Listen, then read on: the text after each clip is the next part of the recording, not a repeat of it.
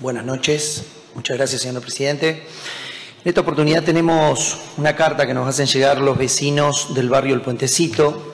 dirigida a la Junta Departamental y al Intendente Departamental de Durazno, el licenciado profesor Carmelo Vidalín.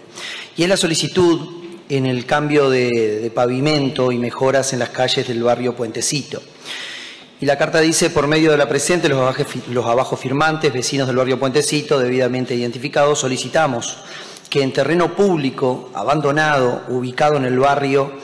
en la calle Pedro Larrique, esquina Agraciada, se analice la posibilidad del desarrollo de una plaza pública. No sé si tenemos imágenes por ahí para ir pasando, ir viendo el estado del pavimento que está Pedro Larrique, todo esto producto de, lo que fueron las obras de, de, la vía, por ahí ingresaban toda la maquinaria, incluso está la rampa por la cual estamos viendo ahí por donde se limpia también la canaleta de lo que es el paseo de la vía y demás, este, viendo ese triángulo que queda entre el tejido y la calle, donde obviamente la maleza y, la acumulación de residuos se hace bastante frecuente. Si bien la limpieza está a cargo del CID de, del Varona, este, que lo realiza de muy buena forma y los vecinos colaboran mucho, es un espacio que está como perdido y sería bueno la posibilidad del desarrollo de esta plaza pública con la infraestructura adecuada para el uso de vecinos. Además solicitamos el arreglo de las calles, como decía anteriormente, dado que presentan ese deterioro significativo por toda la maquinaria que pasó por allí.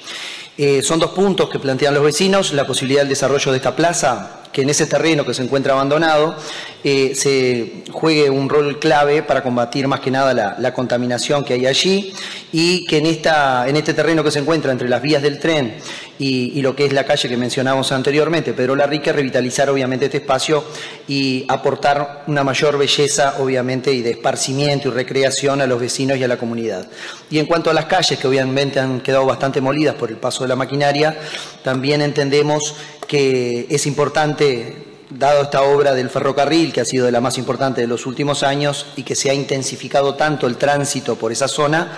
que se pueda obviamente arreglar el destrozo que se ha dado allí. Se trata de calles sumamente transitadas, este, el deterioro obviamente tiene muchas veces consecuencias con desviación de motocicletas, vehículos, bicicletas y demás, que tienen que hacer maniobras bastante este, importantes para esquivar los baches que están en el lugar, obviamente poniendo en riesgo la integridad de los conductores y de los peatones. Y bueno, era un poco ubicar esas imágenes que estaban ahí, la carta la llega a parte de los vecinos y agradezco que estas palabras pasen al Ejecutivo Departamental y al Departamento de Obras de la Intendencia. Muchas gracias. Muchas gracias.